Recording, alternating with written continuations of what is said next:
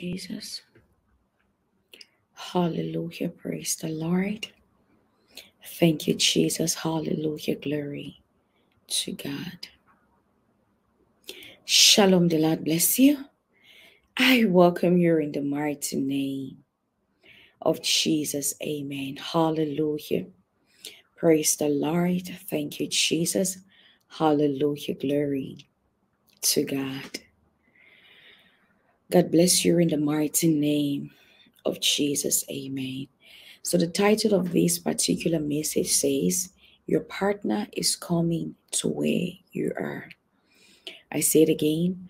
The title of this particular message says, Your partner is coming to where you are. Hallelujah. Praise the Lord. Thank you, Jesus. Hallelujah. Glory to God. Now, I love this particular prophetic word because I'm going to be saying it in two ways. All right. So, this is going to work as um, a personal a personal confrontation and secondly a representative con, um, con uh, a representative connection hallelujah so i believe that this is a great season for somebody i believe this is a great time for you to get that connection with who you're supposed to have regardless and no matter what God wants you happy. And whenever you're praying and you're trusting God for a miracle, He will make sure that He meets you at the very point of your needs. It doesn't matter what, how, and when. If it's in line with His will, He will make sure that He brings it out and He gives it to you. A lot of mistakes that people make is that they want to do things because they heard people did it. Now, if the Lord gave me a personal miracle through what I did, he might give you through what you did, but and but at the same time, he might not give you through what you did. All right. So there are people who are going to say, Oh, this is how they prayed, and this was what they did. You get it. So God is is mm, uh, going to give another person their own breakthrough, but to another person, God might want you to do it another way.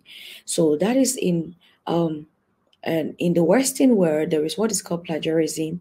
Like you copying somebody like this person did this exactly and i'm copying this particular thing or what the person did just so i can do exactly to get maybe exactly um, the same results and all that. Now god is a just god and what he does is sometimes he acts with us by faith right? Sometimes he will give you an instruction.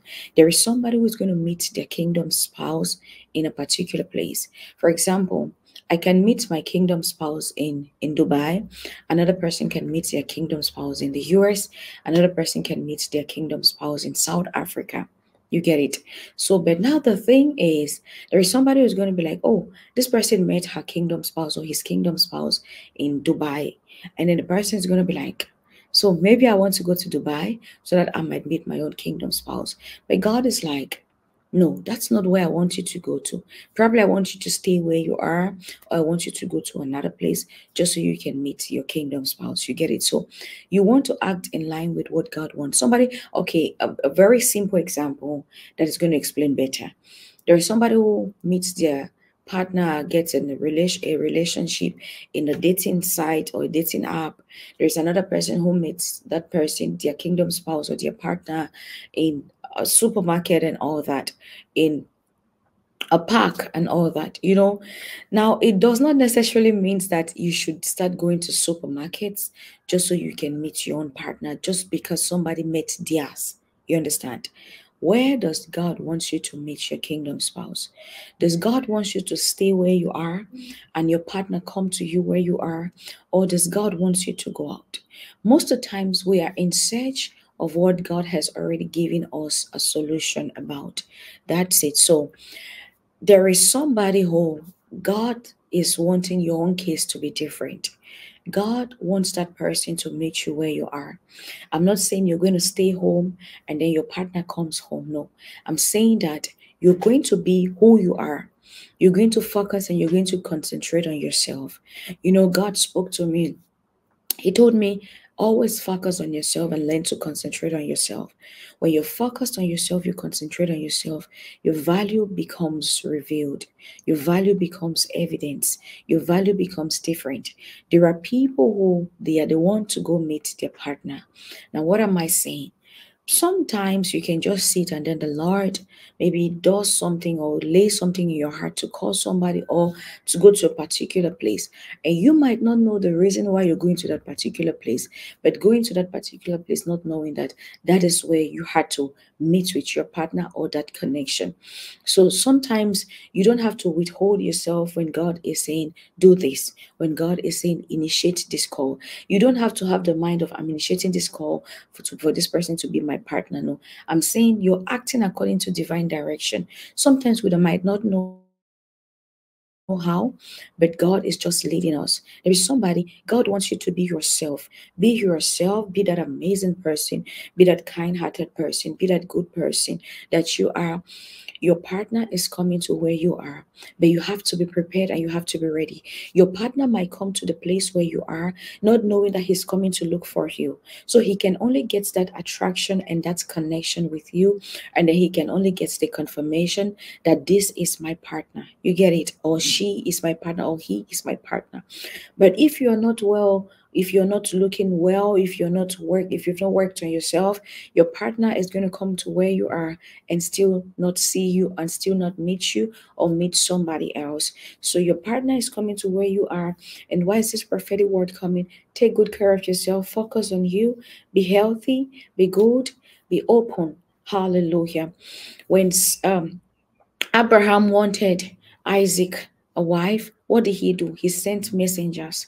The messengers met the wife of Isaac, who was Rebecca.